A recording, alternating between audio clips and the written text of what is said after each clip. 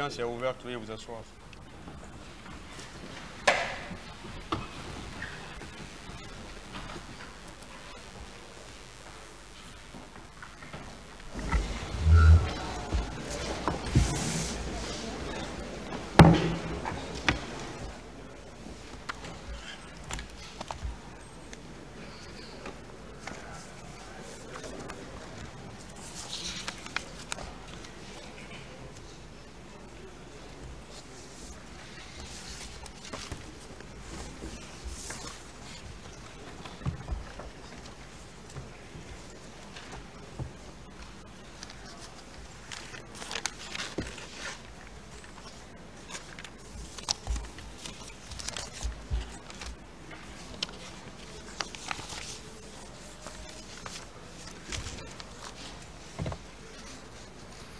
Ministère public contre M. Cécile Raphaël Ava, M. Alpha Madou Baldé, M. Marcel Guilavogui, M. Claude Pivi, M. Moussa Kiegboro Kamara, M. Ibrahim Kamara Di Kalonzo, M. Aboubakar Giakite Di Tumba, M. Blaise Goumou, M. Moussa Dadis Kamara, M. Mamadou Ali Keita, M. Abdoulaye Sherif Diaby, M. Paul Mansa Guilavogui, Parti civil, M. Ouri Loba et plusieurs autres. La Fédération internationale des ligues des droits de l'homme, FIDH. L'Organisation guinéenne de défense des droits de l'homme et du citoyen, OGDH. L'Association des parents victimes et amis du 28 septembre 2009, AVIPA.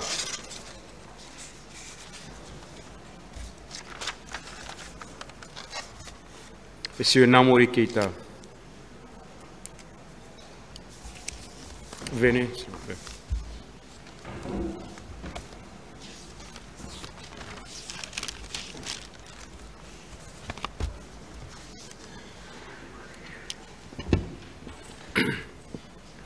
Voulez parler dans quelle langue En français, si vous le permettez, Monsieur le Président. Vous pouvez vous asseoir si vous le voulez. Bon, je vais rester debout pour le moment. D'accord.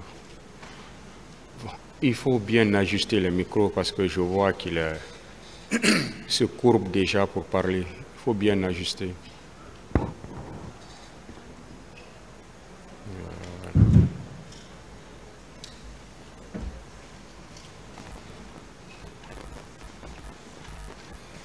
Êtes cité à la barre de ce tribunal par euh, Monsieur le procureur de la République pour euh, témoigner dans cette affaire. Et vous avez des droits en tant que tel, parmi lesquels vous pouvez demander au tribunal d'être entendu à huis clos. Ou si vous voulez parler devant le public, vous pouvez le dire. J'ai pas de problème. Quel est votre nom? Keita Namori.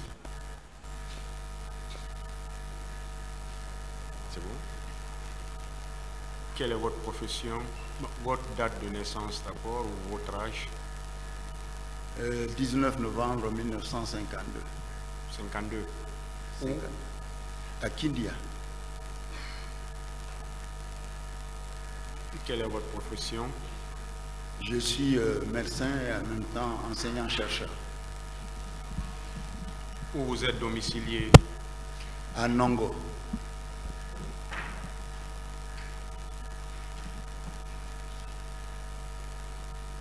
Est-ce que vous avez des liens de parenté avec euh, les personnes qui sont assises dans le box des accusés ou avec euh, les différentes parties civiles de cette affaire? Non. Est-ce qu'il y a des liens de subordination entre vous? Non. Des liens d'alliance Non. Aucun lien, dites-moi. Pardon? Aucun lien. Aucun lien. Alors on va vous entendre à titre de témoin dans cette affaire. Et vous allez dire au tribunal ce que vous avez vu, ce que vous avez entendu. Et le faux témoignage est une infraction qui est prévue et punie par la loi.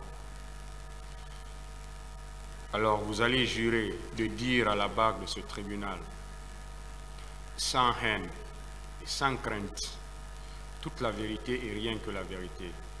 Sur ce, vous leverez votre main droite et direz, je le jure. Je le jure. Alors, M. Keta, dites au tribunal tout ce que vous savez à propos des événements du 28 septembre 2009. Merci, euh, Monsieur le Président, de me donner la parole. Je pense que l'histoire que je vais raconter ne sera pas très longue, elle sera bien brève. Le jour du 28 septembre, comme tous les jours d'ailleurs, même si c'est les jours fériés parfois, je quitte chez moi assez tôt, puisque j'habite un peu loin, pour arriver au service aux alentours de 7h15, 7h30. Ce fut le cas le même jour. Alors, je suis sorti, il y avait une toute petite pluie fine qui tombait ce jour-là. En passant, puisque j'avais entendu la radio, comme tout le monde, qu'il y aurait une manifestation au stade du 28 septembre, en passant devant le stade, à cette heure-là, il n'y avait pratiquement personne, avec les commerçants qui ont l'habitude de faire la vente dans la zone. Je suis donc rentré à l'hôpital. J'ai fait le tour de l'équipe de garde, puisqu'il y a toujours une équipe de garde 24 heures sur 24 dans les hôpitaux de façon générale. Et puis je suis allé m'installer dans mon bureau. Et j'ai commencé à travailler. Parce que je profite de ces jours-là pour rédiger les cours et puis essayer de regarder les programmes de recherche que nous avons. Et c'est ce que j'étais en train de faire. Et puis, euh, longtemps après, j'ai entendu des bruits sourds. Au début, j'ai pensé que c'était des explosions. Et puis après, il y a eu des bruits répétitifs, qui ont succédé à ça. J'ai compris qu'il s'agissait de tirs à l'arme à feu. J'étais dans mon bureau. Et j'ai appelé euh, un de mes assistants pour lui demander s'il avait entendu la même chose que moi. Il me dit euh, oui, monsieur, mais j'ai l'impression que les tirs viennent du stade. Je dis ah bon. Donc, je suis resté dans mon bureau. Une heure après, le même assistant m'a appelé parce qu'il a quitté le service de gynécologie obstétrique que je dirigeais à l'époque pour aller aux urgences voir ce qui se passait. Parce que ses camarades de garde qui étaient aux urgences n'arrêtaient pas de lui dire qu'il y a des blessés graves qui arrivent du stade. Donc, qu'il y était et que c'était vraiment une très grande catastrophe. Je dis, ah bon, de quoi il s'agit? Il me dit, il y a des blessés graves mais il y a aussi des femmes et qui ont subi des sévices. Et donc, euh, on est là. Je dis d'accord. J'ai décidé d'aller voir de moi-même pour me rendre compte de ce qui s'y passait. Et puis, entre-temps, je suis reparti au service parce que le service avait été un tout petit peu dégarni pour que les patients qui viennent puissent être prises en charge, malgré que les sages-femmes, elles, elles étaient restées euh, sur euh, place. Puisque c'est un service d'urgence, hein, les maternités, les femmes accouchent tout le temps, quel que soit le moment, et il fallait quand même euh, que des gens soient là pour s'en occuper. Et puis dans l'après-midi, je suis encore retourné. J'ai vu que la situation s'était aggravée. Et on a discuté entre nous et de commun accord, on a décidé de prendre des ambulances pour aller vers le stade et voir si on pouvait prendre directement des blessés. Et donc, euh, nous nous sommes déplacés avec cinq ambulances. L'ambulance de tête était l'ambulance de l'hôpital, où j'étais moi-même, où il y avait un infirmier anesthésiste, le nôtre d'ailleurs, en l'occurrence, et puis, il y avait euh, deux assurances euh, de Médecins sans frontières. Il y avait une ambulance de la Croix-Rouge guinéenne et la dernière ambulance était l'ambulance des sapeurs-pompiers. Donc, cinq au total. Nous avons pris la direction du stade qui n'est pas bien loin. Arrivé sur l'esplanade, il n'y avait pas grand-chose. Mais les grilles du stade étaient fermées, complètement fermées. Je suis descendu avec l'infirmier anesthésiste, puisque c'était nous qui étions dans l'ambulance de traite, pour demander aux policiers, c'était des policiers casqués, de bleu vêtu, bleu nuit, avec, euh, euh, je crois que c'était les anti-gangs. C'est comme ça qu'on les appelle, en tout cas, euh, de façon générale.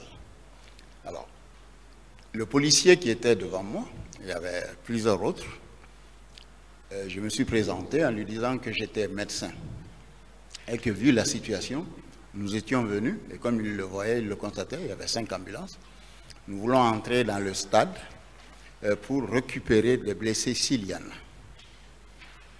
Alors, il m'a regardé dans les yeux, il m'a dit, euh, euh, s'il vous plaît, attendez, parce qu'il faut que je demande l'autorisation à ma hiérarchie. Je lui ai répliqué, je lui ai dit, mais il y a des blessés, vous en êtes conscient, mais il faut que nous, nous puissions les prendre en charge. C'est pour cela que nous sommes venus en force. Il m'a dit, non, non, je prends référence auprès de euh, mes chefs. Il a effectivement pris un téléphone, il s'est un peu éloigné, il a appelé. Je ne sais pas qui l'a appelé. Et puis après, il est revenu vers nous. Il m'a dit, ne vous en faites pas, nous n'avons pas besoin. Nous avons tout ce qu'il faut pour prendre en charge les blessés et nous allons les amener à l'hôpital si c'est nécessaire, sinon nous allons les amener euh, dans les autres hôpitaux où il y aura de la place. On a dit d'accord, puisque c'est votre décision.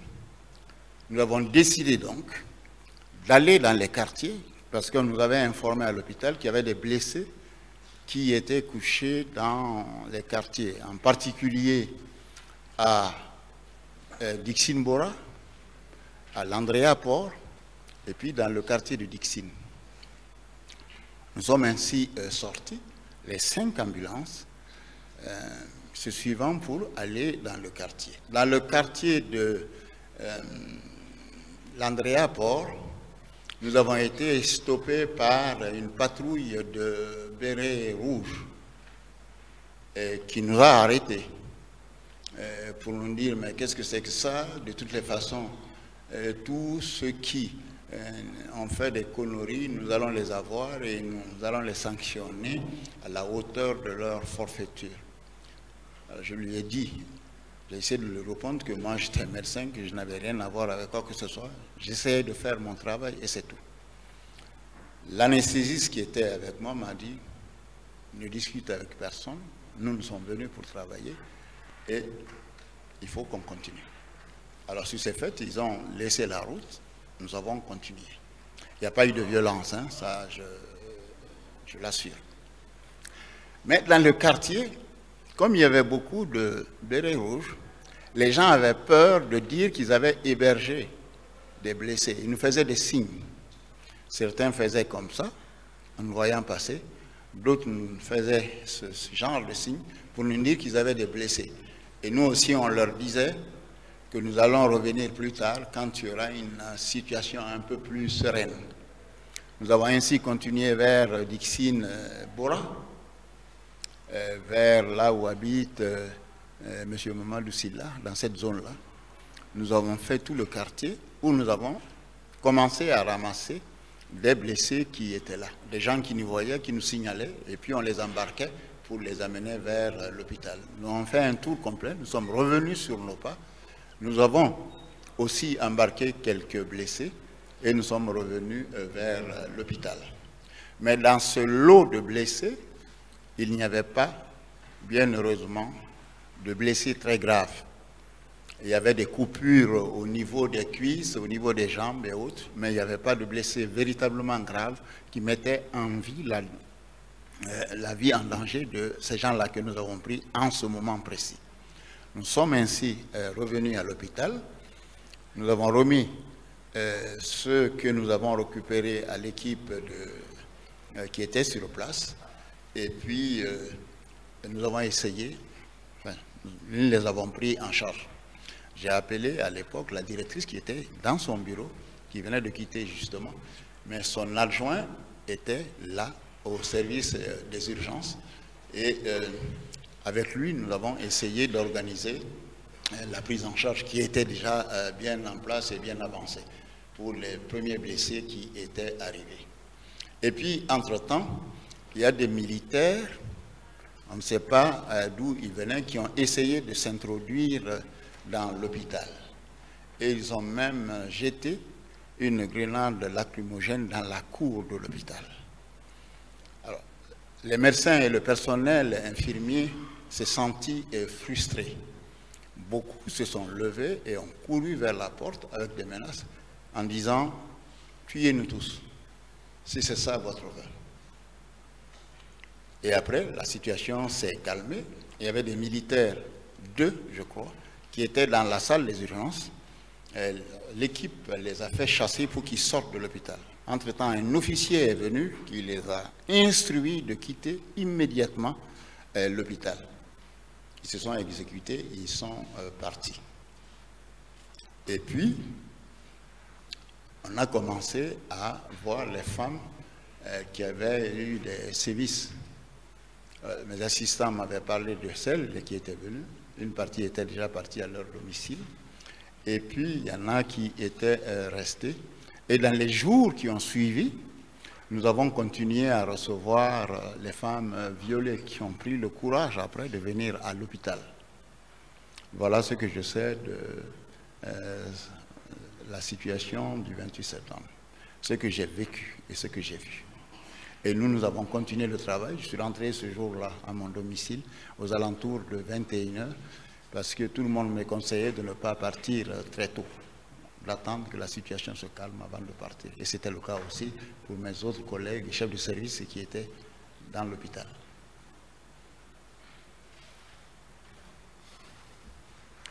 Ce jour, à quel moment vous avez décidé de prendre les, les ambulances et de partir vers... C'était l'après-midi. Je ne me souviens plus de l'heure parce que ça fait il y, y a très longtemps quand même. Mais c'était dans l'après-midi. Quand- Pardon? L'après-midi, il ne faisait pas nuit. hein. Non, non, non, non. Non, et non. quand vous êtes venu au niveau du stade, vous avez dit que le stade était fermé. Le stade était fermé. Enfin, en tout cas, les grilles, là. Lorsque vous dépassez l'esplanade et que vous allez, euh, vous avez des grilles qui sont là. Ces grilles-là étaient fermées. La porte du stade, vous êtes venu vers la porte du stade? Esplanade euh, centrale, là, il y a des portes là-bas. Vous savez, c'est une succession de grilles. Et ces grilles-là étaient fermées. Et est-ce qu'en ce moment, il y avait encore des citoyens au stade? Je n'ai vu que des militaires. Parce qu'on n'entendait plus de coups de feu depuis très longtemps. Et on vous a dit que vous ne pouvez pas y accéder? On m'a dit, on nous a dit, puisqu'on était un certain nombre, qu'on ne pouvait pas y accéder. Et qu'il fallait l'autorisation de la hiérarchie pour que nous puissions y aller. Et vous n'avez pas pu. Non.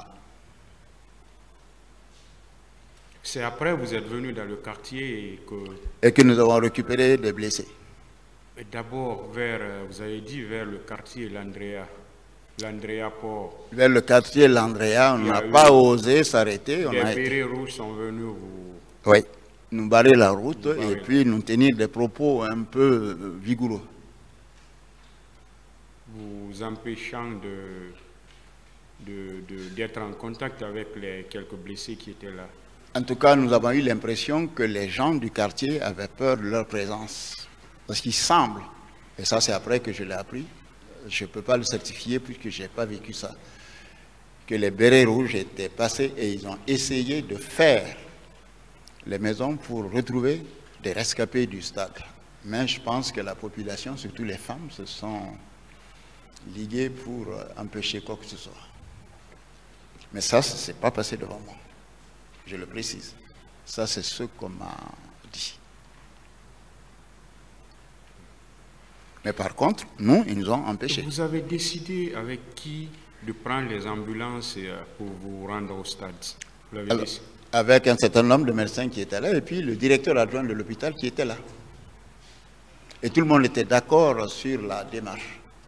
Et la directrice de l'hôpital n'était pas là. Elle était à son bureau en ce moment-là, mais elle était dans l'hôpital. Elle n'a pas assisté à, à cette prise de décision. Euh, elle était au courant. Je pense a, qu'elle a dû en discuter avec son adjoint. Pendant que nous, nous étions en train de nous mobiliser pour voir ceux qui pouvaient partir dans l'ambulance. C'est essentiellement les secouristes.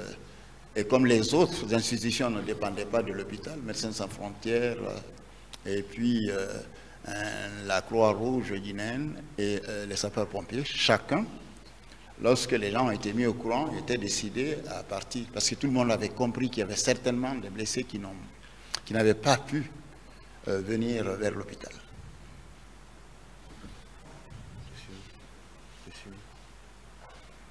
Ministère public des questions.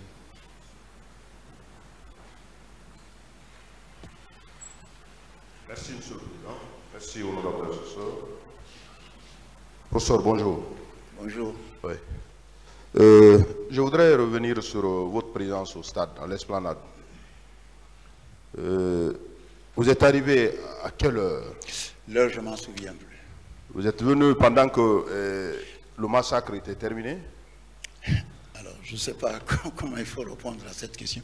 Nous sommes arrivés au stade parce que nous avons vu l'affluence des blessés et nous avons décidé, nous nous sommes dit qu'il y a certainement personne, euh, beaucoup de personnes qui n'étaient pas encore euh, venues à l'hôpital. C'était la raison d'ailleurs de notre départ de l'hôpital et c'était pour ça. À l'esplanade, est-ce que vous avez rencontré des citoyens, des civils? Non. à l'es- à l'esplanade C'était désert, il n'y avait plus que des agents de sécurité partout. Alors, quels sont les agents, quels sont les corps que vous avez Le remarqués? corps que nous avons vu, en tout cas, à la porte, c'était les anti-gangs, ceux qui portent des genouillères et des machins et des casques là. C'est ceux-là là que nous avons vu. Des policiers de CMS policiers, des policiers. CMS. Voilà, c'est ça. Vous avez échangé avec qui qui vous a refusé d'avoir accès à, à l'intérieur? C'est Je ne le connais pas. C'est un policier. c'est un policier. Un policier. Vous ne le connaissez pas? Non. Il vous a refusé d'avoir accès à l'intérieur du stade? Il a dit qu'il allait demander l'autorisation de sa hiérarchie. Et après conversation avec sa hiérarchie, Il nous a dit qu'ils allaient s'en charger eux-mêmes. d'accord. Alors, quand vous êtes revenu à, à Dixine, dans le quartier, vous dites avoir rencontré euh, des militaires bérets rouges. Oui. Qui était armé. hein. armés. Quel était leur comportement dans le quartier? Bon, ils avaient l'air assez énervés et on dirait qu'ils n'étaient pas en possession de toute leur... euh, Pour un- le médecin que je suis, je pense que, bon, ils avaient peut-être... euh, en tout cas, ils n'étaient pas tout à fait... Ils n'avaient pas un comportement normal parce qu'ils étaient un peu agressifs. Ils étaient agressifs. Ouais. Est-ce qu'ils n'étaient pas, selon votre analyse, ils n'étaient pas dans le quartier euh, pour rechercher encore les personnes qui étaient au stade? Ils n'étaient pas dans une patrouille euh, pour rechercher les victimes encore dans le quartier C'est possible. selon, selon votre analyse. C'est possible. Vous n'avez pas remarqué quelqu'un, une autorité militaire dans ce groupe? Non, de Bérets Rouge Vous n'avez remarqué personne? Non. Je pense que c'est des bérets rouges de, de base. hein. Je n'ai pas vu quelqu'un qui portait un galon. Je crois qu'il y avait un, un- Non, non, non. Aucun d'eux n'avait un galon. Ils avaient le béret rouge, ça c'est sûr. Ils avaient des fusils d'assaut. Et puis voilà. Donc vous confirmez que c'est les Bérets Rouges Ça, c'est le béret rouge, c'est sûr, parce qu'ils avaient le béret rouge. Alors, nous sûr. allons revenir sur euh, la question de la prise en charge. Quand vous avez réussi à avoir certains blessés et pour les conduire aux urgences de Donka, je voulais savoir précisément à quelle heure vous avez constaté la présence des militaires et de quel corps dans l'enceinte de, de- de Donka. Bon, ça, euh, je crois que c'est des militaires normaux, hein, si on peut s'exprimer ainsi, qui étaient dans des tenues vertes. Je crois c'était des tenues vertes, des tenues, le, le- le vert euh, militaire. Et qui avaient, certains avaient des calots, d'autres avaient des casques. Il y avait, ils portent des bérets rouges. Non, ceux-là, là, pas, je ne les ai pas vus avec des bérets rouges. Quelle était leur attitude Puisque vous avez parlé de quelque chose Ils avaient une attitude agressive. agressive. Oui. Même envers le corps médical. La preuve, ils ont jeté une grenade dans la cour de l'hôpital en ce moment. en ce moment. Ouais. C'était la journée. C'était dans l'après-midi. Je crois que c'est aux alentours de 17h peut-être, je peux dire. Parce que nous, on est revenu du stade peut-être un peu plus tard, parce que euh, le soleil était vraiment en train de se coucher, quoi. je pense. Professeur, je voudrais euh, que vous confirmiez cela, la présence effective des militaires dans l'enceinte de l'hôpital d'Onka. Ils n'étaient Est-ce pas que dans auparavant, auparavant, quand il y a des questions, euh, des mouvements euh, qui conduisent à, à des débordements, vous recevez des, des- des- des victimes. Est-ce que ce jour, l'atmosphère qui régnait à Donka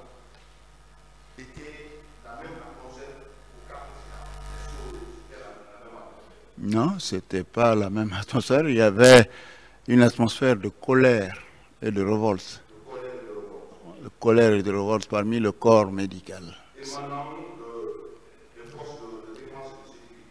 Ça, c'était, je sais pas, un sentiment de, de haine envers ceux qui.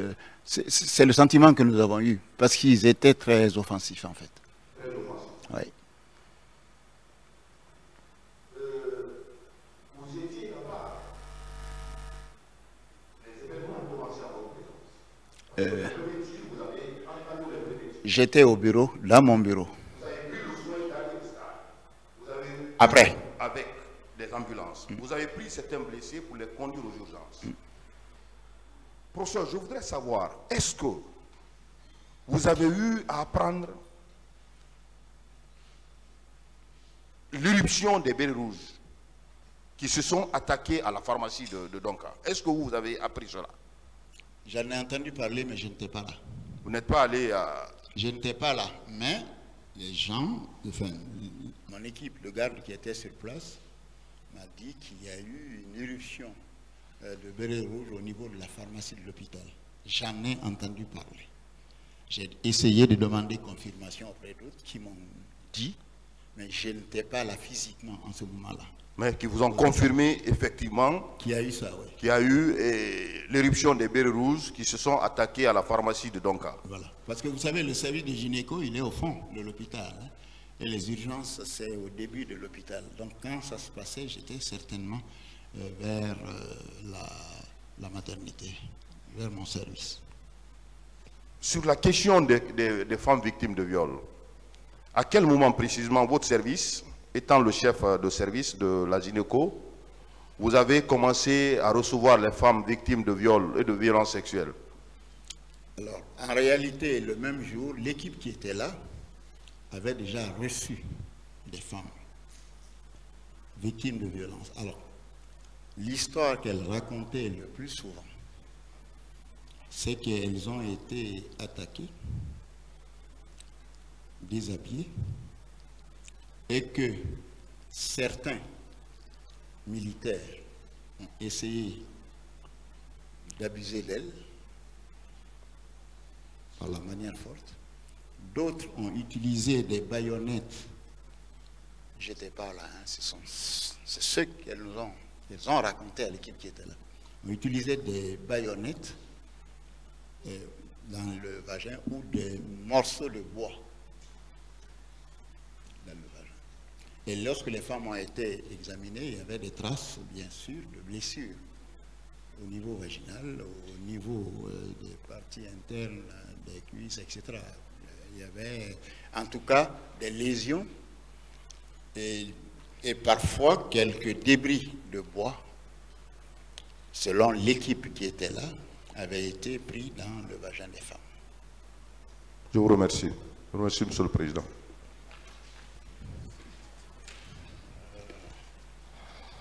Merci, Monsieur le Président, honorables assesseurs. Professeur, merci d'être venu et merci pour euh, la clarté de vos déclarations. Est-ce que, professeur, vous aviez pu vous faire une idée sur euh, le nombre de personnes blessées? Non, parce que ce jour-là, on était euh, très occupés et nous, nous nous sommes occupés surtout euh, des femmes. Mais je peux vous assurer que tous les lits étaient occupés et dans toutes les salles, il fallait chercher à mettre les pieds pour pouvoir circuler parce qu'il y avait des blessés partout par terre et même dans les couloirs. Ça, je peux confirmer ça. Mais le nombre, je ne peux pas vous le dire parce que les statistiques se faisaient au fur et à mesure. Et ces blessés se lamentaient beaucoup Beaucoup de blessés se lamentaient, effectivement. Il y, avait, il y en avait qui avaient des blessures graves hein, à la tête euh, et dans l'autre partie du corps.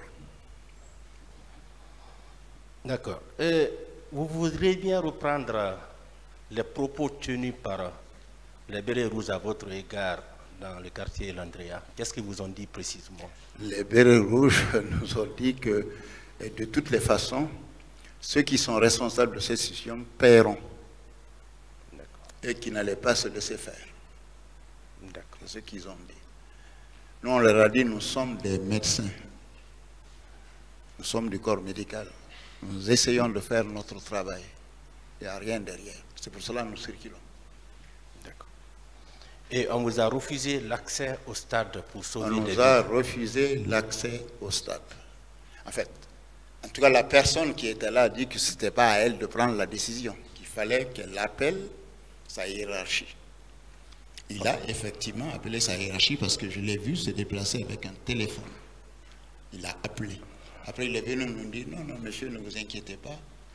Il n'était pas euh, violent du tout, hein, très respectueux. Nous allons nous occuper des blessés qui sont là. Donc certainement, sa hiérarchie a dû lui dire de ne pas vous laisser entrer dans l'enceinte du stade. Probablement. Et vous, votre seule intention ce jour, c'était de sauver des vies c'était juste de sauver des vies, essayer de prendre les blessés graves pour que la prise en charge ne soit pas trop retardée. C'était d'ailleurs l'objectif de notre déplacement de l'hôpital vers le stade. Et c'est ce qu'on vous a refusé. Bien.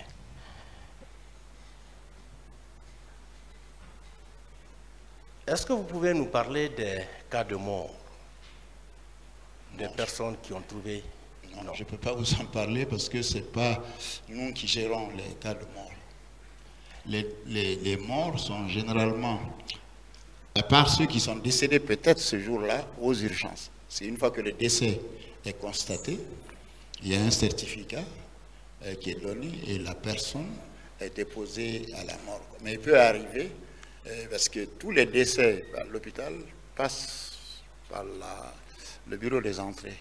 C'est-à-dire la personne est déclarée, la mort est constatée et la personne est transférée à la mort et parmi les blessés qui avaient été admis à votre niveau, est-ce qu'il y avait eu des cas de mort? Non. D'accord. Vous dites qu'il y avait cinq ambulances Cinq. Et toutes ces cinq ambulances étaient allées au stade Dans tout le quartier, on a fait tout le tour ensemble. Mais les ambulances n'ont pas été beaucoup chargées pour les raisons que je vous ai évoquées. Les gens avaient peur.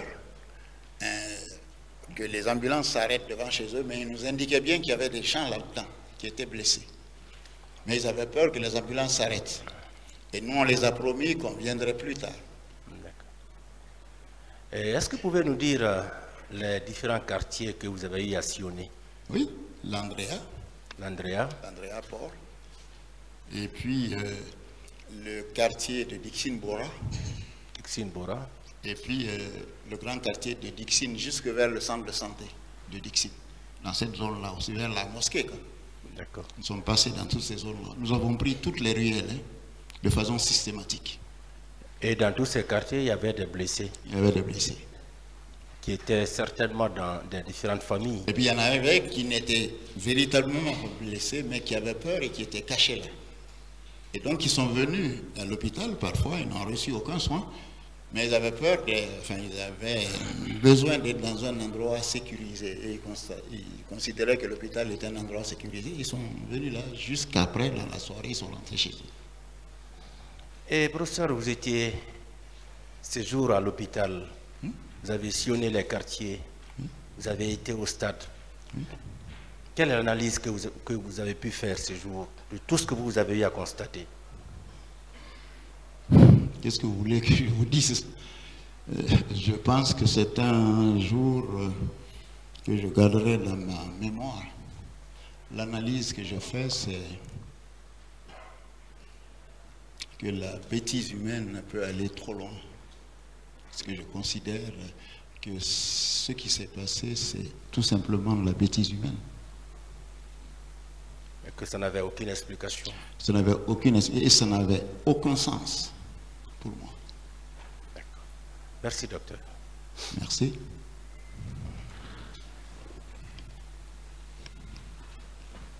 Bonjour, professeur. Bonjour. Euh, je voudrais revenir sur une question qui avait été préalablement posée par mon collègue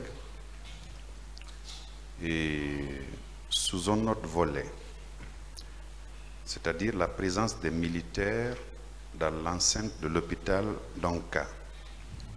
Plus précisément, le saccage de la pharmacie.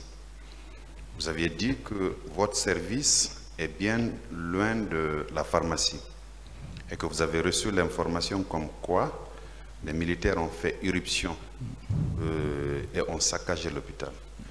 Est-ce que ne serait-ce que euh, sur le chemin de retour de la maison, vous y avez fait un tour pour constater de visu ce qui s'est passé là Je me suis arrêté justement pour poser des questions. Et c'est ce qu'on m'a dit. C'est en ce moment-là que j'avais déjà été informé hein, par les assistants qui étaient là. Et puis pour des collègues d'autres services, en particulier les services chirurgicaux qui étaient là, qui nous ont dit, mais ils sont allés très loin, ils ont attaqué la pharmacie de l'hôpital. Je dis, ah bon? Et en sortant, j'ai posé la question. J'étais déjà dans ma voiture et, et la réponse était oui, ils ont attaqué la pharmacie. Vous n'êtes pas descendu de voiture pour constater vous-même Non, Très bien. parce que je n'avais aucune raison de douter de ce que me disaient mes collègues.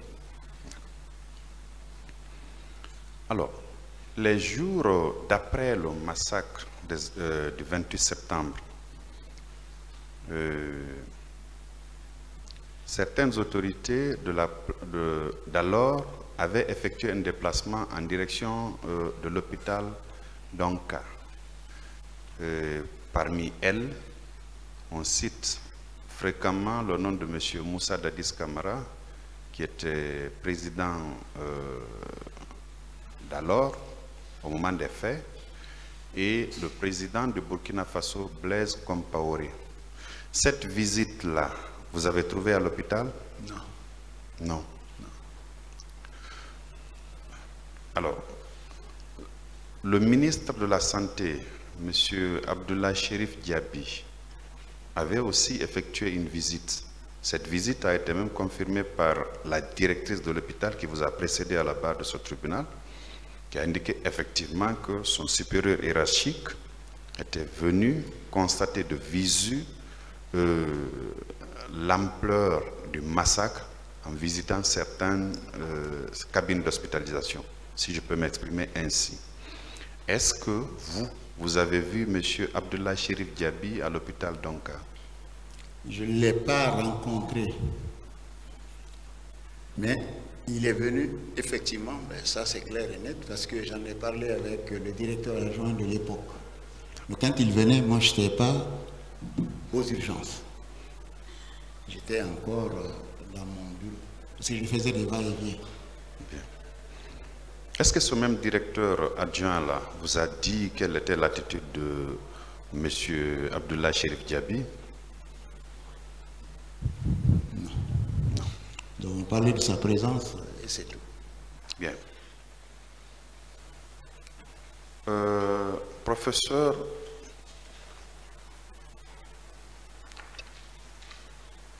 vous avez, vous êtes médecin. Euh, le jour de ce massacre-là, vous étiez à l'hôpital comme d'habitude. Les jours d'après, les femmes qui ont été victimes de violences sexuelles se sont présentées à vous. De l'examen que vous ou votre équipe avez pu faire, est-ce que euh, euh, la thèse de viol, enfin la notion de viol, vous l'avez euh, constatée de visu sur les femmes que vous aviez examinées La notion de viol, selon l'entendement des médecins, a été évoquée sur les dossiers que nous avons vus effectivement. Mais comme euh, moi, vous savez que euh, le viol ne peut être constitué que par un magistrat. Le médecin décrit la situation et indique qu'il y a possiblement une situation de viol. C'est à la suite des enquêtes que le magistrat peut établir effectivement qu'il s'agit d'un viol. Et ça, je peux vous confirmer qu'il y avait des preuves de viol et de grandes conséquences de viol qui ont été constatées. Ça, je peux vous le certifier. Excusez-moi, je n'ai pas bien entendu. Vous avez parlé de grandes conséquences ou graves conséquences de... De graves conséquences. Ça veut dire, professeur Ça veut dire les problèmes psychologiques, des contaminations pour les maladies sexuellement transmissibles, y compris le VIH, la grossesse, post-viol. Tout cela a été constaté. Alors, parmi les femmes qui se sont présentées à vous, ou votre équipe, vous ont-elles parlé de viol collectif? Parce que dans ce dossier, il ne s'agit pas seulement de viol, mais il y a aussi des femmes qui ont été victimes de viol qui ont déclaré avoir été victimes de viol collectif. Certaines euh, Dans notre jargon à nous, euh, je ne sais pas si c'est le, bon jargon que nous utilisons, euh, vous et nous, on parle de viol collectif toutes les fois qu'une femme a été sexuellement abusée par plus d'une personne. Certaines l'ont dit, oui. Elles n'étaient pas nombreuses, hein, mais certaines l'ont évoqué, mais surtout, beaucoup ont parlé d'avoir été retenues par des mains pour que une ou deux personnes puissent les violer. Et d'autres ont dit euh, que sous la menace des armes, euh, elles se sont déshabillées à la demande euh, de ceux qui avaient essayé de les, en tout cas, de les prendre de force. Se sont déshabillées de sorte que nous avons eu la confirmation après dans les quartiers, beaucoup de femmes sont sorties nues du stade, entièrement nues du stade. Et ce sont les femmes du quartier de l'André Port qui les sont venus au secours en leur prêtant des pagnes et en les amenant chez elles. Ça, je peux confirmer ça parce que plusieurs personnes du quartier l'ont dit. Je ne les ai pas vues, je n'étais pas là. Mais elles nous ont dit ça. Cela a été confirmé par plusieurs euh, victimes, eh, professeurs. Ça ne souffre l'ombre d'aucun doute. Alors, dans, euh, parmi ces femmes-là, euh, votre curiosité vous a poussé à leur demander qui étaient ou qui étaient leurs agresseurs et vous ont dit que si c'était des civils, des militaires, des policiers, des gendarmes? Des militaires. Des militaires. Elles ont toutes dit que c'était des militaires. D'accord. Dans ce lot de militaires, ont-elles indexé le corps des bérets rouges ou euh, un autre corps? Je ne sais pas si elles font la différence et nous, en réalité, nous n'avons pas posé toutes ces questions-là. Elles nous disaient, ce sont des militaires, nous nous contentions de cette réponse. Parce qu'il est très difficile de parler avec une femme violée. Elle a un refoulement et il y a des moments, elle a une amnésie parce qu'elle n'a pas envie de se souvenir de ce qui lui est arrivé. Et euh, c'est le constat que nous avons fait. Elles ont toutes dit, ce sont des militaires. Peut-être une dernière question. Euh, vous avez pu euh, documenter euh, toutes ces, ces notions de viol et de violence sexuelle. Vous avez comptabilisé le nombre de femmes qui s'étaient présentées à vous, victimes de viol ou de violence sexuelle, professeur? J'avais confié à trois de mes assistants de s'occuper de ce dossier, puisque les femmes ont continué à venir bien après. Il y a d'ailleurs eu une histoire qui me hante. Depuis ça, une histoire assez particulière d'une jeune femme de 20 ans qui avait passé le bac, qui devait aller à l'université, qui a été violée. Et elle a eu la triple sanction.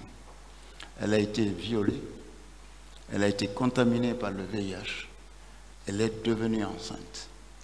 Elle était hospitalisée en psychiatrie pour des problèmes psychiatriques qu'elle avait. Et ça, c'est une histoire qui m'a marqué. C'était, euh, elle faisait partie des jeunes, parce qu'il y avait des jeunes filles aussi de 17 ans hein, qui avaient été euh, violées à l'époque. Elle, elle a vraiment eu la marque de la violence humaine. Je l'ai perdu de vue parce qu'on a essayé de s'intéresser pour savoir euh, ce qu'elle était devenue, parce qu'elle avait la possibilité de faire une interruption médicale de grossesse avec la situation. Mais on ne l'a plus jamais revue. Elle a disparu. C'est bien dommage. Elle était bien saine et vierge, parce qu'elle a perdu sa virginité ce jour-là. Les examens ont constaté que c'était une défloraison très récente quand elle a été vue. Puisqu'elle a été vue plusieurs jours hein, après. Je pense qu'elle se cachait, elle ne voulait pas venir. C'est au mois euh, d'octobre qu'elle est venue à l'hôpital pour dire qu'elle fait partie des personnes. Elle n'est pas venue d'elle-même, hein, elle a été accompagnée euh, par deux dames qui l'ont amenée ce jour-là. Elle était pas bien. Affreux. Euh, quand je parle de statistiques, je voudrais, enfin, j'ai envie de savoir si euh, vous avez chiffré le nombre de femmes euh, qui s'étaient présentées à vous, victimes de viols et de violences sexuelles. Alors, il y a un lot, le tout premier, celles qui sont venues le jour des urgences ont été enregistrées au service des urgences. Nous, celles qui ont été enregistrées à notre niveau, ce sont des femmes qui sont venues après, parce que le service a été désigné après pour la prise en charge de toutes les personnes violées. Et si mon souvenir est bon, je pense que dans le mois d'octobre et après, je pense que nous avons dû voir 29 femmes, il me semble. 29. 29, je crois. En tout cas, c'est dans cette zone-là. Et nous avons produit un rapport qui avait été remis à une première cour qui avait été mise en place euh, pendant euh, que le CNDD était encore au pouvoir et qui était présidé par le procureur Siriman Kouyaté, je crois. Et tous les documents avaient été déposés à cette occasion-là. Parce qu'on avait été appelé euh, pour, avec le professeur Hassan Naba et la directrice à l'époque, pour euh, dire euh, y a-t-il eu viol ou non. Voilà. Merci professeur pour ce acte citoyen.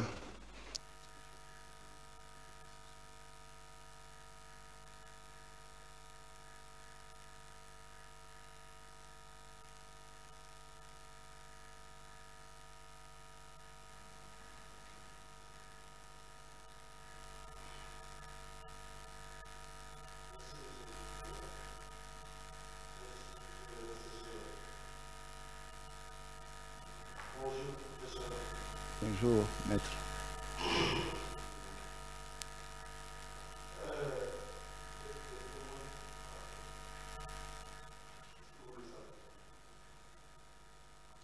Je ne sais pas ce que ça veut dire.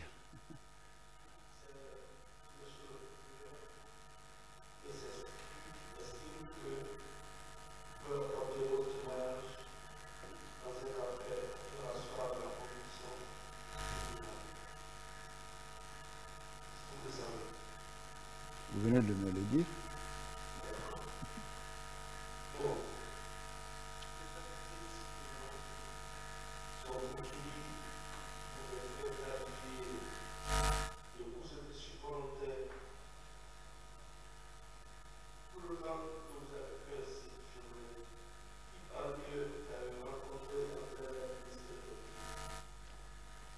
Non, personne. Personne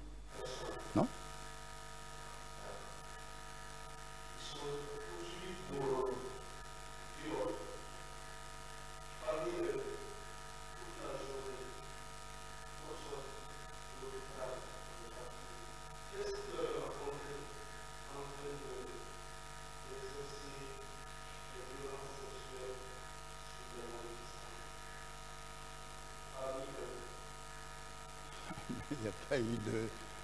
En ce moment-là, au moment où nous sommes sortis, il n'y a pas eu de viol. En ce moment. Enfin, je n'ai vu personne. Je n'ai vu personne faire un acte de viol.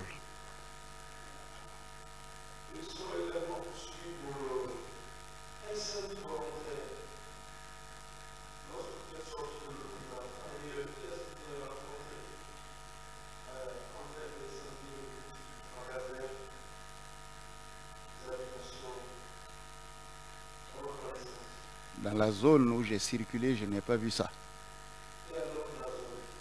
Je ne peux pas répondre à cette question puisqu'en dehors de la zone, j'y étais pas.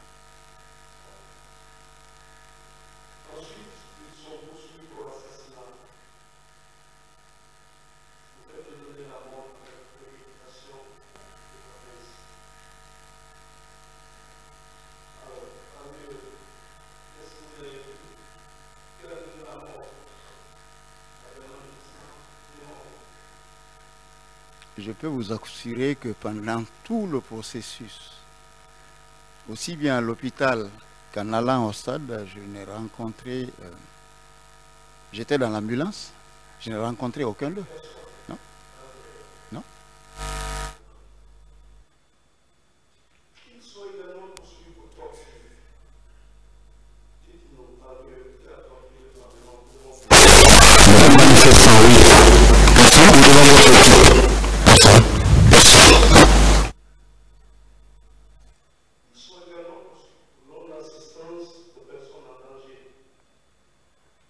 parmi eux qui vous a empêché d'accéder aux blessés au stade.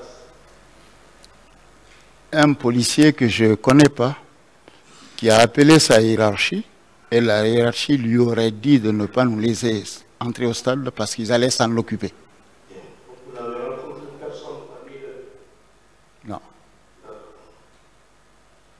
Ils sont également poursuivis pour complicité de meurtre. Faites de volontairement la mort. parmi eux qui sont vus en train de donner la mort à des manifestants ou à des citoyens le 28 ou les jours qui ont suivi. Vous avez parlé de complicité, non? Non, meurtre. Complicité de meurtre. Oui. Je ne peux pas établir, moi, en tant que médecin, une complicité de meurtre. Je n'en ai aucun moyen. Ils sont également poursuivis pour outrage à agent. Pour Outrage à agent. Est-ce qu'un seul a outragé un agent par devant vous? Dans l'exercice de ses fonctions qui? Parmi eux.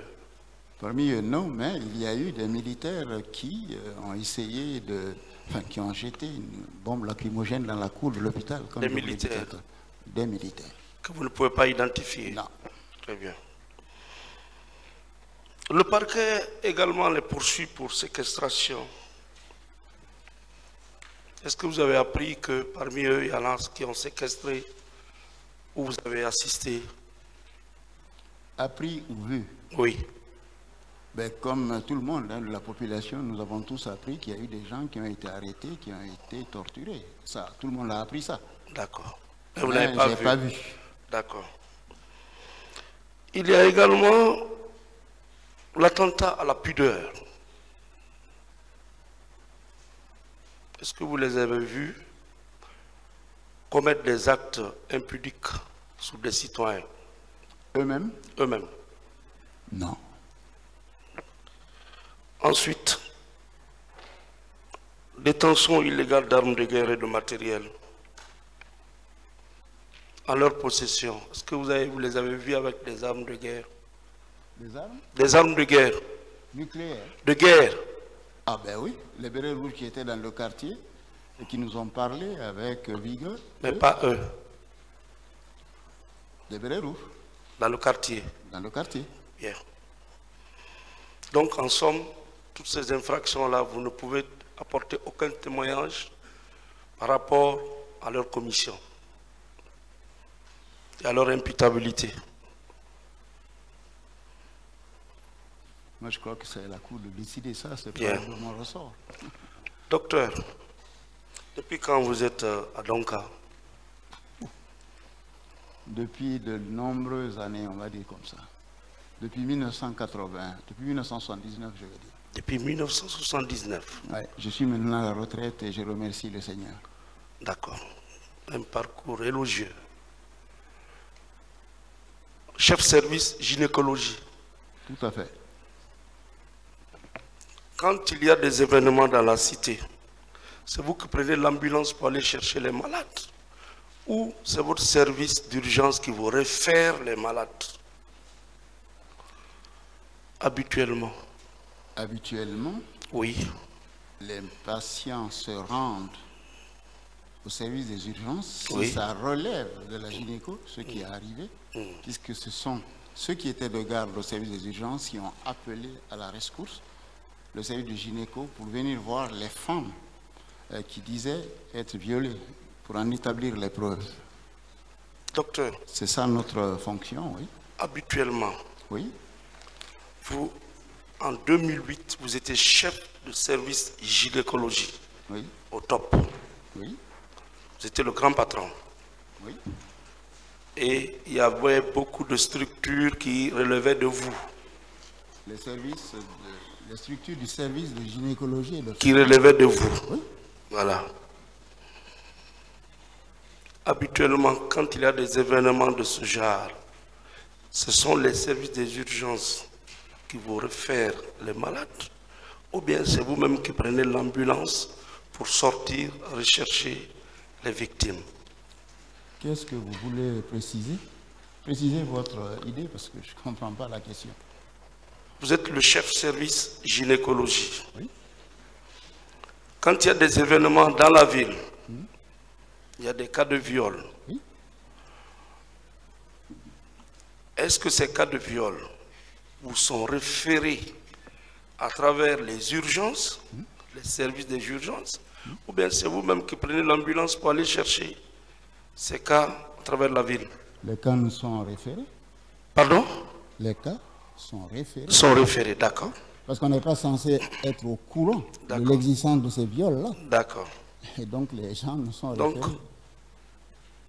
au service des urgences, il y a les représentants de toutes les structures. Corrigez-moi hein, si je ne suis pas médecin.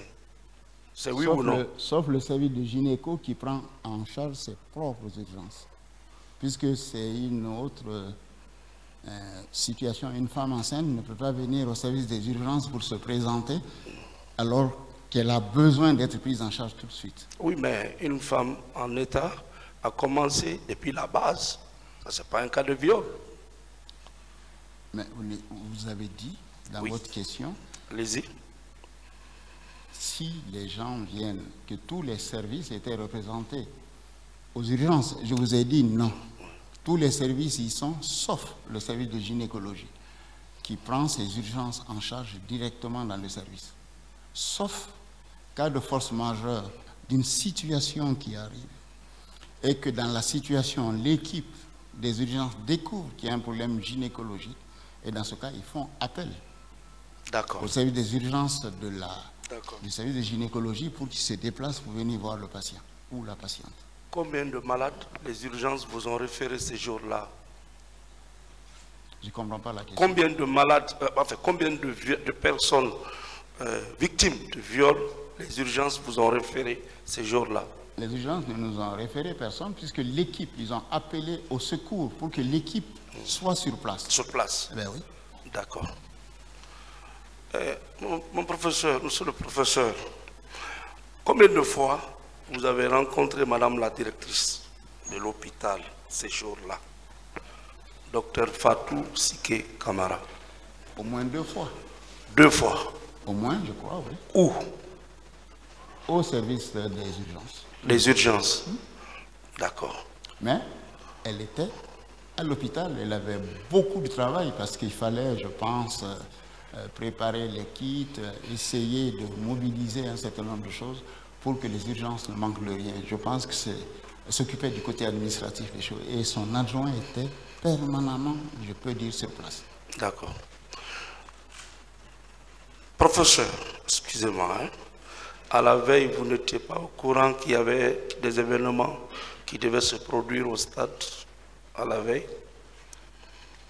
Enfin, il y avait une manifestation de l'opposition qui était prévue. Tout le monde a écouté ça à la radio. Personnellement, vous vous étiez informé J'ai écouté à la radio. à la veille, À la veille, oui. vous étiez au courant. À la radio, tout le monde a entendu qu'il devrait y avoir une manifestation de l'opposition au stade D'accord. À quelle heure vous l'avez appris? Dans la nuit.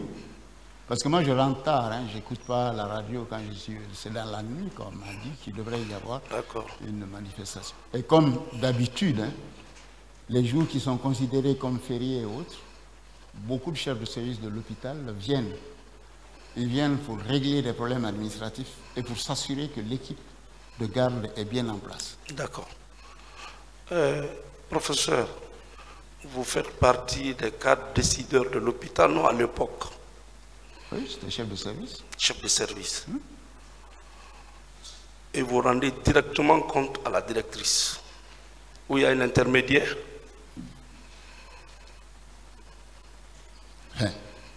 Pour toutes les activités, les activités sont étudiées au cours d'une réunion. Ça s'appelle le monitorage. D'accord. On n'a pas à rendre compte au directeur tous les jours pour les activités qu'on fait. Non, il y a un monitorage qui est organisé qui permet de voir et de passer au peigne fin toutes les activités faites au niveau des services. le stade est à moins de 2 km de votre centre hospitalier. Oui, Vous êtes un chef de service. oui, À la veille, vous apprenez qu'il y a des manifestations. oui. Et qui parle de manifestations en Guinée, c'est qu'il peut toujours y avoir des débordements, des blessés. Est-ce que vous avez pris soin d'appeler Madame la directrice pour lui dire je viens d'apprendre qu'il y a des manifestations, prenons les dispositions. C'est pas mon rôle, ça. Ce n'est pas votre rôle. L'hôpital des principes. D'accord. Chaque fois qu'il y a une manifestation, les urgences sont renforcées.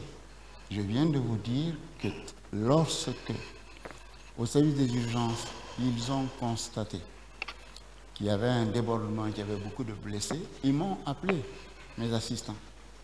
Monsieur, on nous a appelés parce qu'il semble qu'il y a beaucoup de problèmes aux urgences. Donc, nous allons voir ce qui se passe et nous vous tenons au courant.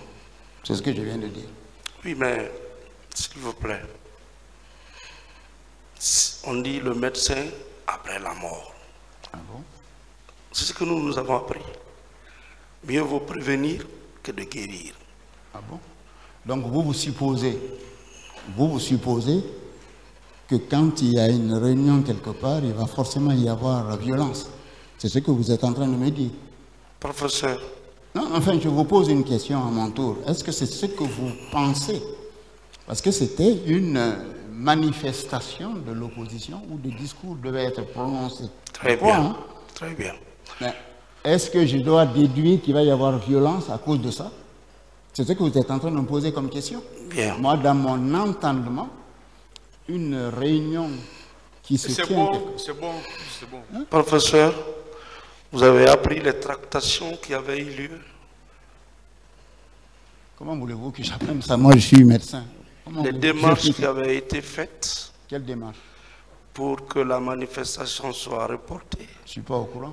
pas au courant. Je ne suis pas un homme politique. Voilà. N'importe qui pouvait apprendre qu'il y a manifestation, mais vous, en raison de votre position, de votre statut de médecin, chef, je voudrais juste savoir si vous n'avez pas été inquiet de provoquer une réunion pour prendre les dispositions, au lieu que le lendemain, vous ne sortez en deux ou trois personnes en ambulance. Il a répondu à cette question. Une autre question. D'accord. Docteur, vous étiez parti à bord de combien d'ambulances? Je crois que j'ai- dit ça déjà. Vous étiez au nombre de combien? Dans chaque ambulance, il y avait au moins trois personnes, je pense. Trois personnes. Moins Excusez-moi, combien d'ambulances? Cinq. Cinq. Or, Madame la directrice nous a dit ici, sauf erreur de ma part, que l'hôpital ne disposait même pas d'ambulance, qu'il n'y avait qu'une seule ambulance. Mais c'est ce que je vous ai dit, que j'étais dans l'ambulance de tête qui appartenait à l'hôpital et que les autres ambulances Oui. appartenaient à des organisations. Il y en avait deux de Médecins sans frontières, une de la Croix-Rouge et une des sapeurs-pompiers qui étaient bien présents ce jour-là. Qui étaient dans l'enceinte de l'hôpital ou c'est vous qui les avez fait appel? Les ambulances étaient tous là parce que quand il y a, dès qu'on découvre qu'il y a urgence, les ambulances se regroupent. Comme les urgences devaient venir à l'hôpital d'Onka, les gens de Médecins sans frontières se sont dit, nous venons aller à l'hôpital. Puisque de toutes les façons, ils n'ont pas de structure pour prendre en charge. Les prises en charge se font à l'hôpital. Donc ils sont venus vers l'hôpital. Ça a été le cas de la Croix-Rouge. Et les sapeurs-pompiers étaient dans leur droit. Ils viennent dans l'hôpital le plus grand et l'hôpital qui s'occupe habituellement. C'est pour cela qu'ils étaient présents. On a eu à faire appel à personne. En tout cas, quand moi je suis venu, les ambulances étaient sur place. Et c'est après que nous avons décidé d'aller. D'accord. Lors de votre pa- parcours, est-ce que vous avez rencontré des camions militaires Ben, Il y en a quelques-uns qui passaient, oui. Et il y en avait qui, qui transportaient des blessés ou des morts Je ne sais pas ceux qui avaient dedans parce que les camions avaient des bâches. Ok. Il y a un témoin qui est passé ici qui nous a dit qu'une dame l'avait appelé, dont il ne retient plus l'adresse, que c'est lui qui avait autorisé qu'on envoie chercher les corps au stade. Ma question est de savoir, est-ce que vous pouvez nous indiquer le nom du représentant de la Croix-Rouge ces jours-là, là-bas? Non, je ne peux pas. on ne sait pas. Non. D'accord. Monsieur le professeur, est-ce que vous vous étiez rendu à la morgue? Non. Est-ce que des cas de viol avaient débouché à des décès? Non. Pas que je sache. Votre connaissance Non. D'accord. Depuis que cette affaire a commencé, est-ce que vous êtes passé devant une commission d'enquête? Oui. Laquelle? Celle qui était présidée par le procureur euh, Siriman Kouyaté. Le président Oui. Sirman Kouyaté. Oui, le président Siriman Kouyaté. Et puis, euh, il y a eu beaucoup d'enquêtes internationales qui sont venues ici, la Cour pénale internationale, le, le Haut Commissariat aux Nations Unies. On est passé devant toutes ces commissions. Ils ont posé des questions auxquelles nous avons répondu. Et vous y avez déposé des, do- des documents. Ils ont demandé les documents, ce sont les mêmes qui ont été déposés au niveau de la Cour présidée par euh, le, M. Kouyaté.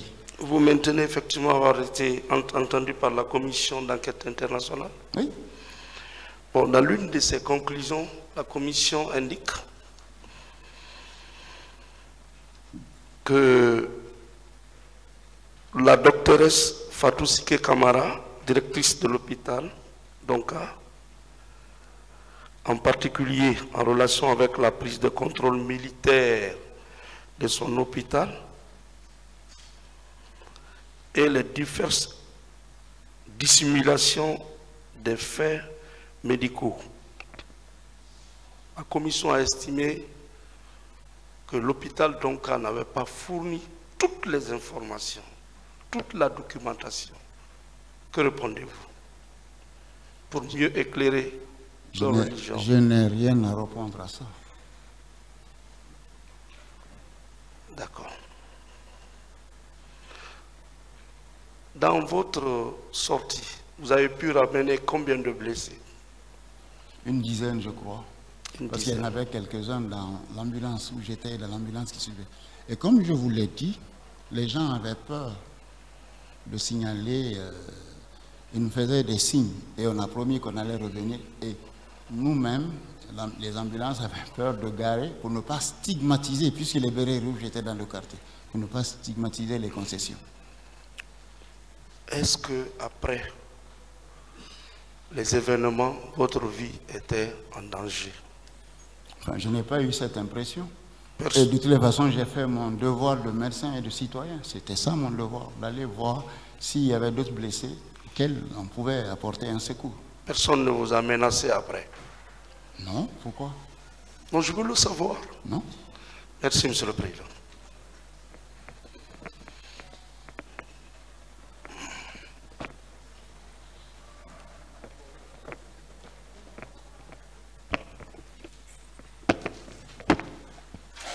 Docteur, bonjour. Bonjour, monsieur. Euh, J'ai quelques petites précisions. Oui, je vous écoute. Étant le médecin chef des services de gynécologie. Est-ce que vous avez eu à établir, disons, un rapport comportant une liste de victimes? Est-ce que vous avez ce rapport dont vous avez souvenance Je crois que c'est la énième fois que je réponds à cette question. Oui, la réponse est oui. Et c'est le même rapport qui a été déposé depuis la première euh, enquête et devant les différentes euh, institutions qui nous ont posé la question, ils ont eu le, le rapport. Est-ce que vous avez souvenance des noms de victimes des services de gynécologie? Des victimes de viol? Vous avez soutenance, enfin, vous avez souvenance Des- de des- des personnes, Des noms, des noms des victimes de, de viol les noms? De quelques noms vous, savez, vous, avez, vous avez eu à parler de 29, quelque chose comme ça. Même si j'avais les souvenances des noms, je n'allais pas vous le dire. Je suis tenu par le, le devoir Le de secret, réserve le et le secret. secret médical, bien sûr. Oui. Mais nous avons besoin ici, pour la manifestation de la vérité, de quelques noms, parce qu'il faut en discuter. C'est bien, même le tribunal n'allait pas l'autoriser à citer les noms ici. Vous pouvez poser une autre question, maître. D'accord, M. le Président. Est-ce que vous avez eu des cas de torture? C'était pas ça mon rôle. hein. Mon rôle. Excusez-moi, excusez-moi. Celles qui ont été violées, Oui. elles ont été forcément.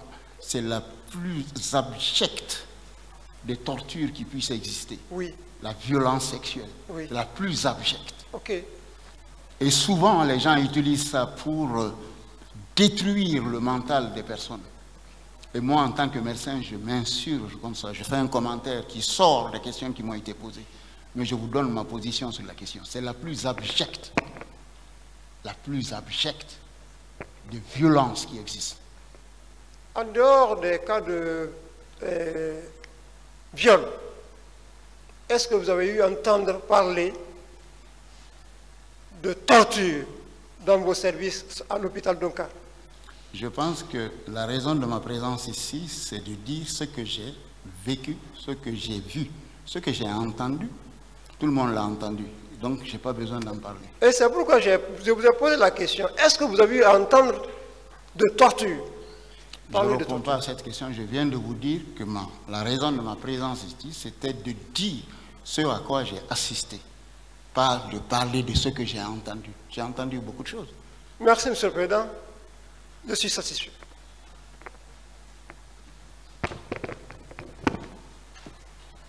Partie civile.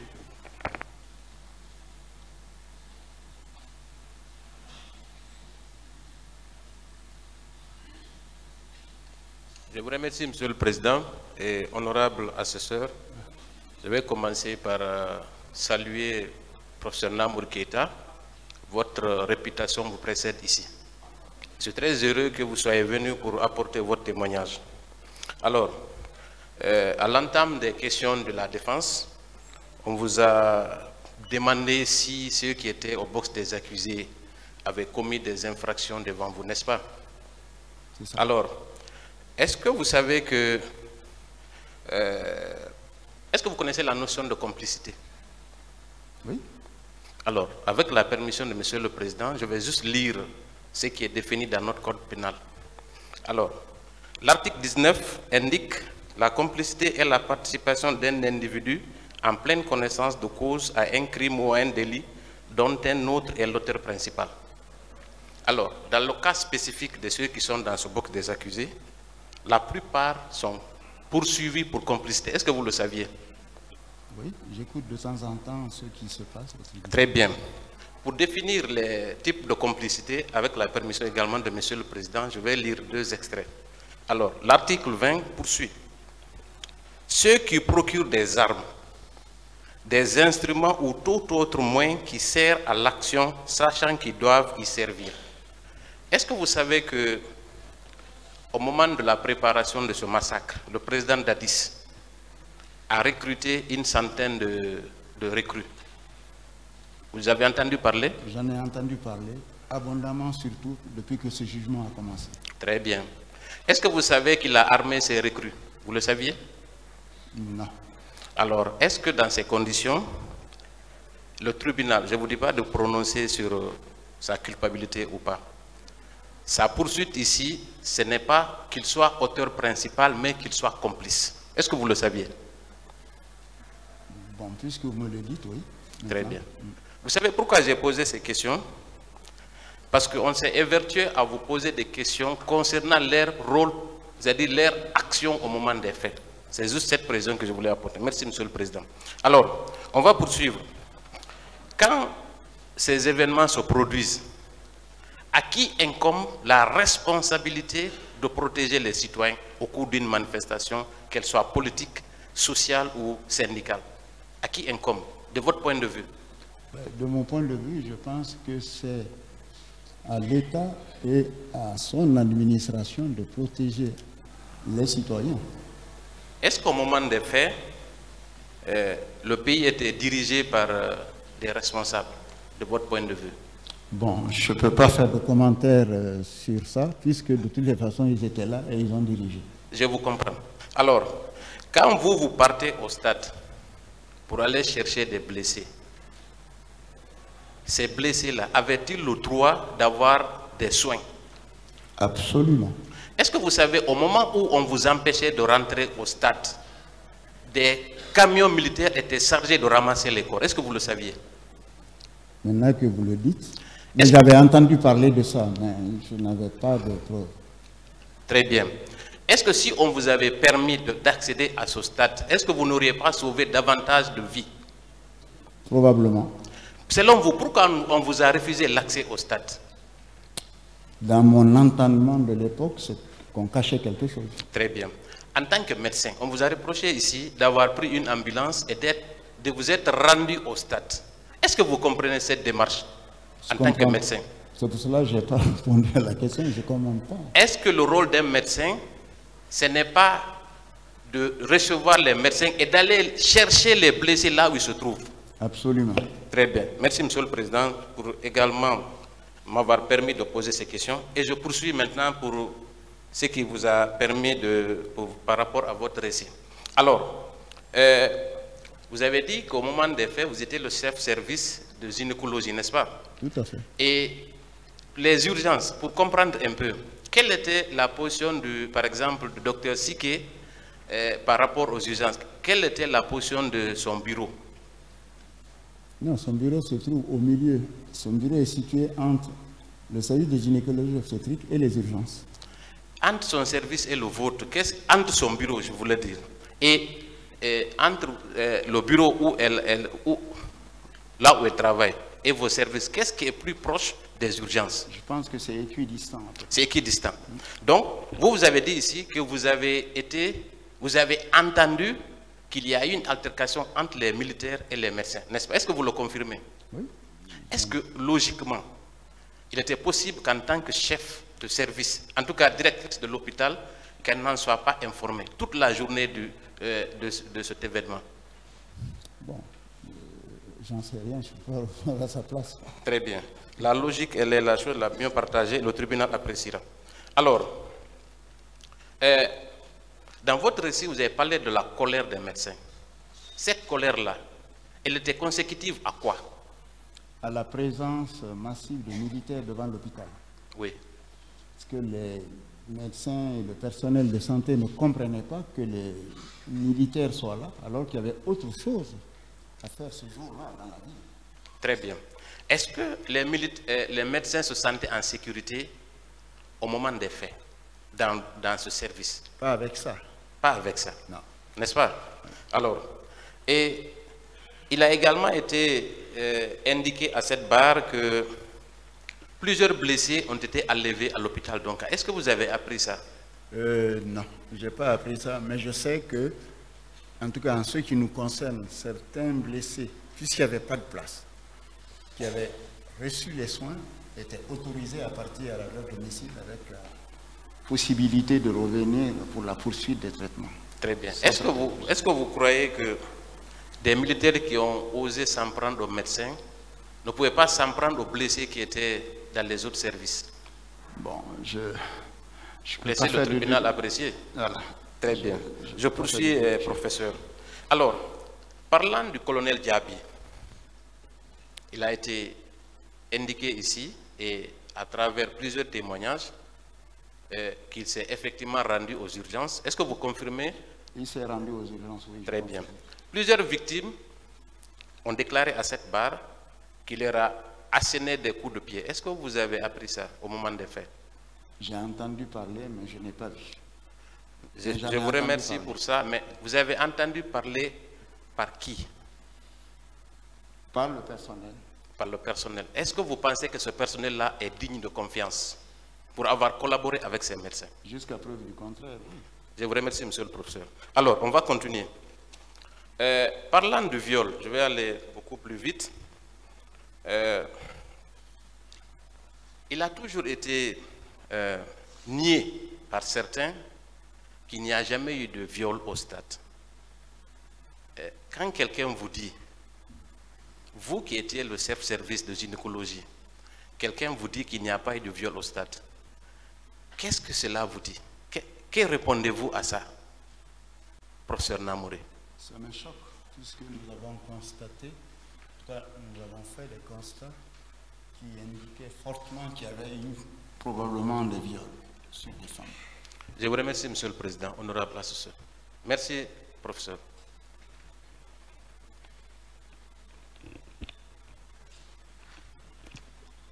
Merci, Monsieur le Président, honorable assesseur. Professeur, bonjour. Bonjour. Oui. Euh, vous avez déclaré ici que quand vous avez appris le massacre, vous vous êtes déplacé avec une équipe pour aller au stade. Vous avez, vous avez fait ce sacrifice. C'est grâce à vos obligations professionnelles ou bien vous l'avez fait parce que c'est à titre de patriotisme. Le fait d'aller au stade avec euh, une ambulance pour aller prendre les malades, prendre les violés, les blessés et les envoyer à l'hôpital. Je veux savoir, vous l'avez fait parce que vous êtes médecin, c'est selon vos obligations professionnelles. Je pense que dans la conscience de tout personnel de santé, lorsqu'on se rend compte que la vie d'autrui est en danger, c'est son rôle d'intervenir pour sauver la vie. Tout à fait. Ça, c'est un courage. Je veux savoir, vous avez déclaré ici que les premières heures du massacre, vous avez pris contact avec l'équipe de garde avant d'aller au stade. Je veux savoir, quand vous étiez au stade, est-ce qu'il y avait une coordination entre l'équipe de garde et vous qui étiez partis au stade? Si par exemple on envoyait des blessés et des violés pour les recevoir, De toutes les façons, c'est obligatoire. À partir du moment où des blessés sont pris dans un endroit vers un hôpital, quel que soit le taux de remplissage de l'hôpital, l'hôpital est obligé de dispenser les premiers soins avant de transférer dans une autre institution hospitalière capable d'assurer la même prise en charge. D'accord. Est-ce que parmi les femmes victimes de viol, est-ce que selon votre diagnostic, certaines nécessitaient une évacuation? Est-ce qu'il était question, ben, vu l'ampleur des dégâts, est-ce qu'on pouvait prétendre à une évacuation vers l'extérieur? Euh, bon, je pense qu'il y a suffisamment de compétences dans le pays pour la prise en charge de ce type euh, d'actes. D'accord. Et Est-ce que, en tant que chef service gynécologie, est-ce que ce jour-là, le nombre de victimes que vous avez reçues, est-ce qu'il y avait un stock disponible pour soigner tous ces, toutes ces personnes-là? Je sais que toutes les personnes qui sont venues ce jour-là ont été prises en charge. Ça, Ont été prises en charge. Absolument. Je veux savoir, est-ce que, parce que vous les avez prises en charge, les soins vont continuer? Est-ce que durant tout le temps de soins, les médicaments étaient disponibles? Alors, il y a eu plusieurs catégories hein, de blessés qui sont venus. Mhm. Les autres, les blessés communs, sont Mhm. pris en charge par le service Mhm. des urgences où il y a un chef de service qui est chirurgien. Les prises en charge ont été mises en place et les personnes revenaient pour celles qui avaient besoin de pansement pour refaire leur pansement, par exemple, ou celles qui avaient eu des sutures pour enlever les fils de suture, etc. Donc, la continuité des soins a été effectivement assurée, selon mon entendement, mais je n'étais pas tout le temps au service des urgences, parce qu'après les- le jour et le lendemain, je ne suis pas venu aux urgences puisque ce n'est pas ça ma fonction. Ma fonction était de m'occuper du service de gynécologie et l'obstétrique. D'accord. Euh, S'il arrive que dans le stock, un médicament manque, est-ce que vous prescrivez une ordonnance pour qu'on aille payer dans les pharmacies? Normalement, pas pour euh, les blessés lorsqu'il y a des événements euh, dans la ville de Conakry. Il y a toujours un stock qui, dispose, qui est disponible à l'hôpital pour ce genre de prise en charge. Donc il n'y a pas d'ordonnance. En tout cas, nous n'avons pas établi d'ordonnance. D'accord. Est-ce que vous avez eu l'assistance financière des institutions comme l'UNICEF, l'OMS et CIR Oui, bien sûr. Euh, dans le cadre de la prise en charge des femmes violées, ces institutions ont mis à la disposition des services de gynécologie et de tous les services sur la ville de Conakry qui dispensaient des soins à ces femmes-là, ce qu'on appelle les kits de protection, les kits de sécurité. Je vous ai dit tout à l'heure, au début de mon propos, que quand une personne, qu'elle soit femme ou homme, est violée, il y a un certain nombre de dispositions qu'il faut prendre, s'assurer que la personne a eu en tout cas des sévices qui euh, font penser au viol, premièrement. Deuxièmement, si c'est une femme, s'assurer qu'elle n'est pas enceinte. Troisièmement, qu'elle n'a pas été contaminée par une maladie sexuellement euh, transmissible. Et au cours de l'entretien, essayer de cerner le personnage pour s'assurer que la personne n'a pas de troubles psychologiques. Et donc, ces institutions sont intervenues, intervenues pour donner des kits de protection, c'est-à-dire conseiller la vaccination contre l'hépatite B, par exemple, pour protéger ces personnes contre ces maladies, protéger les gens contre le VIH-Sida en donnant un traitement euh, immédiat, préventif. D'accord, d'accord, d'accord. Je veux savoir, eh, ces malades-là, vous vous souvenez, il y a eu combien de jours, combien de mois pour que ces femmes violées la guérissent Ce n'est pas le genre de personne qui aime beaucoup l'hôpital. Donc, lorsque nous avons eu un, deux entretiens, ou trois au maximum, les personnes ont disparu et ne sont pas venues nous voir. D'accord. Et vous avez dit que vous vous êtes rendu au quartier d'Ixine Boura, derrière ceux qui étaient blessés et qui ont été hébergés par des familles. Normalement, si vous voyez des militaires devant ces familles qui hébergent les blessés, c'était dans l'intention, comme les militaires les pourchassaient, c'était dans l'intention de les prendre et les envoyer pour les emprisonner, n'est-ce pas? Je ne peux pas deviner l'intention de quelqu'un que je rencontre pour la première fois, mais je sais en tout cas Voilà. qu'ils étaient là. Et Je veux, que, je veux, voilà, je veux dire, normalement, est-ce que les militaires là devaient être présents devant des différentes familles qui ont hébergé les blessés? Je ne sais pas à quoi répondre à votre question, j'en sais rien. Euh, lors du passage du général divisionnaire, M. Bafoué, il a déclaré ici que la sécurité du stade était assurée par l'escadron de la gendarmerie de Dixine. Est-ce que quand vous êtes parti au stade, vous avez vu les gendarmes au stade? Ceux auxquels je me suis adressé étaient des policiers.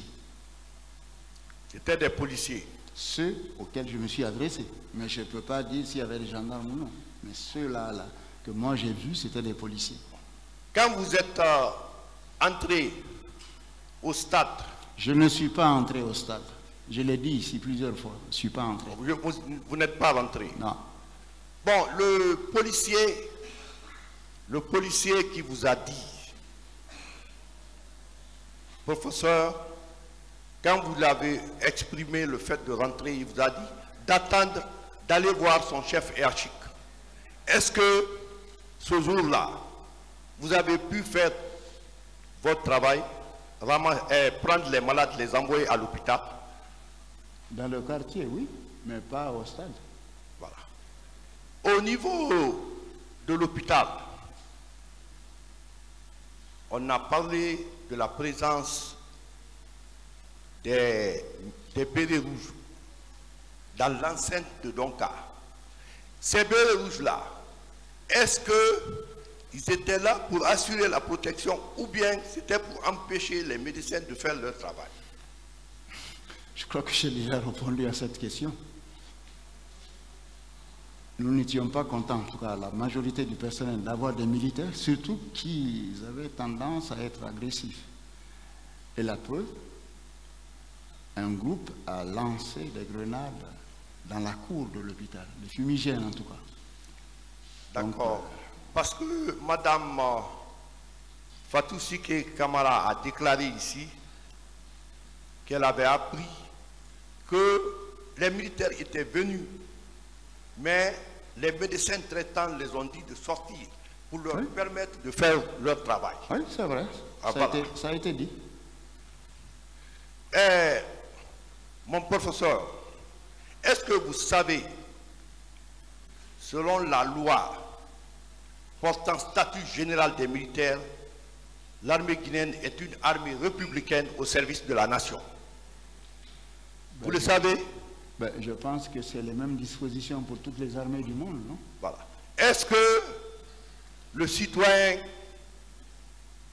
c'est une obligation de résultat pour l'armée guinéenne de protéger la population? Vous le savez ou pas? Je pense que c'est inscrit dans ce qu'ils doivent faire. Donc, euh, moi, je vous remercie d'avoir le courage d'aller au stade pour aller chercher, pour aller prendre les malades, les amener à l'hôpital, parce que quelqu'un qui est victime d'une atrocité ne peut pas se déplacer facilement. Je vous remercie. Merci, Monsieur le Président.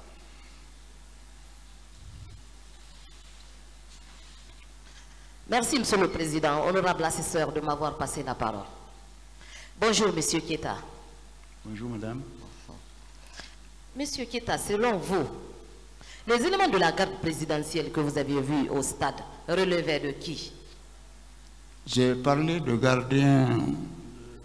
Je n'ai pas parlé de Vous garde avez déclaré ici avoir vu des militaires qui portaient des bérets rouges, si je suis de bonne moi, moi, je ne sais pas s'ils sont de la garde présidentielle ou non, j'en sais rien. Mais j'ai vu des bérets rouges dans le quartier. Oui, ça c'est effectif. Mais je ne sais pas à quel corps ils appartenaient. D'accord. Est-ce que ces éléments pouvaient quitter le camp pour le stade sans l'autorisation de leur supérieur hiérarchique? J'en sais rien. Parce que je ne connais pas les règles qui les régissent. J'en sais rien. D'accord. Monsieur Keta, qu'est-ce qui vous a animé ce jour-là à sortir pour aller rechercher les blessés graves? Le devoir, tout simplement. Un esprit de patriotisme. Le devoir, et certainement du patriotisme, mais c'est surtout le devoir de médecin. Vous avez déclaré ici avoir reçu 29 victimes de viol. Vous confirmez cette déclaration? Oui, après, après le jour du euh, 28 septembre, oui, dans les jours qui ont suivi, oui, ces personnes-là appartiennent. Celles qui sont venues le jour n'ont pas été enregistrées par mon service, ils ont été enregistrées par le service des urgences. C'est celles que nous avons vues après, qui avaient des problèmes, qui sont venues nous voir. Et vous- on n'était pas la seule structure hein, qui nous occupions de ça. hein. Il y avait plusieurs autres structures dans la ville de Conakry qui s'occupaient de viol. Est-ce que vous savez que certaines femmes avaient été victimes de viol avaient été chassées de l'hôpital? Euh, bon, je ne suis pas au courant. D'accord.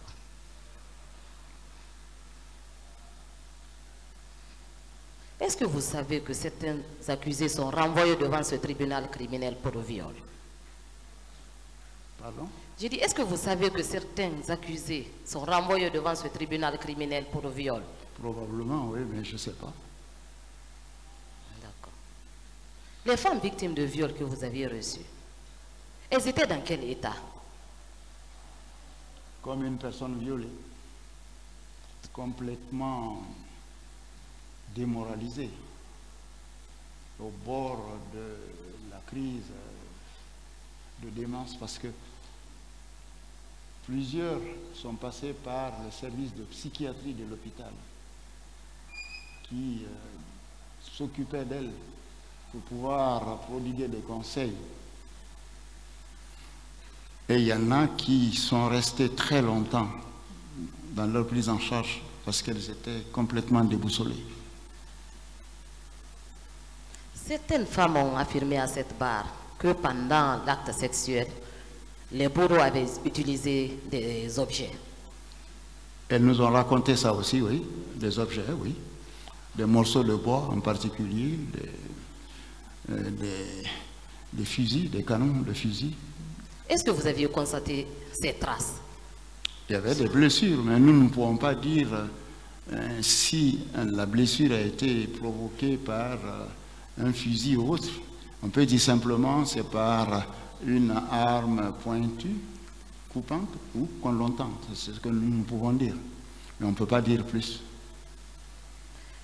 Madame Fatoussi a, appris, a, a déclaré à cette barre que les services des urgences de l'hôpital Donka ressemblaient à l'abattoir. Qu'est-ce que vous pouvez nous dire par rapport à cette déclaration? En tout cas, un champ de bataille parce qu'il y avait des blessés partout. Des blessés graves? Il y a eu des blessés graves là-dedans. Ouais. Je vous remercie, monsieur.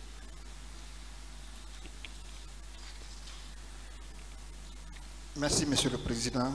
Merci, Messieurs les assesseurs. Professeur, bonjour. Bonjour, maître. Bien. Je ne vais pas vous entretenir longtemps.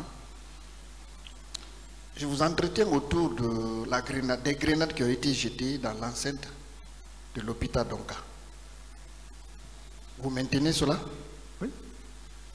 C'était à quel dessin ces grenades ont été jetées? Qui peut comprendre le dessin de la personne qui jette une grenade sur des personnes civiles qui, de plus, appartiennent à un corps particulier, les professionnels de santé Je ne sais pas quel était leur dessin. Certainement pour faire du mal, forcément. Il y avait des attroupements des médecins qui ripostaient contre l'arrivée des militaires. Non, les médecins ont protesté et ont montré leur colère pour la présence militaire. Mais il n'y a pas eu d'affrontement physique. Mais ils n'étaient pas contents, vu ce qui était en train de se passer, que des militaires soient là. Et les blessés? Pardon? Les blessés Les blessés étaient dans la salle, dans un autre endroit. Si vous connaissez l'hôpital d'Onka, vous avez un grand portail, vous avez à l'époque un portillon d'un côté, et puis le service des urgences, c'est le bâtiment qui, en entrant à l'hôpital, est sur votre gauche. Est-ce qu'il y a eu des victimes? Qu'est-ce que vous appelez victime C'est-à-dire à la suite de ces grenades qui ont été jetées par les militaires. Non, pas Est-ce qu'il y a je eu d'autres victimes? Pas que je me souvienne, parce que c'était. J'ai eu l'impression que c'était un fumigène plutôt. Ça a dégagé de la fumée, mais bon. On a entendu une explosion, ça a dégagé de la fumée, mais il n'y a pas eu de blessés. Autant que je me souvienne, non. Aucun militaire n'avait été agressé dans l'enceinte de, l'hôpital. De toutes les façons, ce jour-là, aucun homme normal n'aurait osé affronter un militaire. Je vous remercie, Monsieur le Président. Euh, je vous remercie, Monsieur le Président, Messieurs les assesseurs, euh, professeur, je voudrais d'abord vous demander si vous avez des informations concernant les fausses communes, parce que le professeur Ban nous a dit ici il y a 25 corps non identifiés au Cameroun. Est-ce que vous aussi, parce que vous êtes une grande personnalité, vous êtes de l'hôpital, en quelque sorte, je peux dire, vous avez géré cette situation. Est-ce que vous pouvez dire au tribunal qu'il y a une force à tel lieu dans notre pays? Merci. Je n'ai aucune information concernant les corps. Ça ne fait pas partie de mes compétences à l'hôpital.